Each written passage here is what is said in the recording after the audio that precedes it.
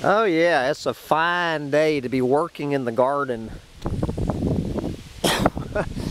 here in the uh, End Times in Paradise on Friday, November 9th, uh, 2018. Two days ago it was pretty much 90 degrees, 90 degrees here when I was sweating like a pig out here in the garden and my poor little uh, my poor little lettuce plants uh, and greens and stuff were wilting in the heat.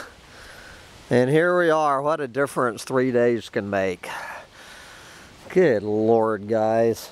Uh, so anyway gonna be a short day in the garden today but not looking good. This garden looked so beautiful one day ago, but uh, this too shall pass.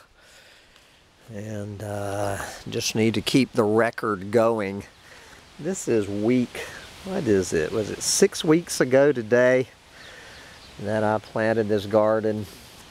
Well, if I had done this video 24 hours ago, I could really have shown you a my beautiful little garden, which is rain battered, wind whipped on this nasty winter day in the end times. And uh, that's about it for my uh, day in the garden. I was thinking about fertilizing, putting some fresh turkey manure on the greens. They're looking a little light green. So I was going to put some fresh turkey manure on those greens, but that's going to be some other day. But the little collard greens, they just seem totally happy. Anyway, I'm going to beat a hasty retreat back to uh, my heater for this week's ecological meltdown roundup rant.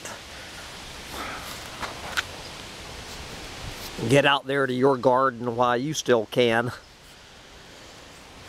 Jesus. What a nasty day. Here comes wintertime.